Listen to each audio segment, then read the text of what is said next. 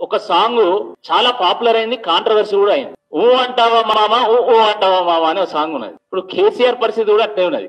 ఎన్నికలప్పుడు ఉప ఎన్నికలప్పుడు ఊ అంటాడు. ఎన్నికలు ఉప ఎన్నికలు అయిపోగానే ఊ అంటాడు ఆయన. మొన్న హుజరాబాద్ ఎన్నికలప్పుడు ఏమన్నాడు? దళిత బంధు నాలుగో తారీఖు నవంబరు ఊ అన్నాడు. హుజరాబాద్ ఎన్నికల రాగానే ఏమన్నాడు?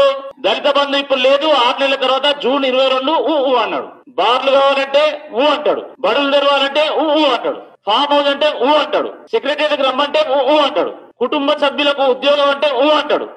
నిరుద్యోగులకు ఉద్యోగాలు ఏమంటే ఊ అంటాడు. ఇది పరిస్థితి.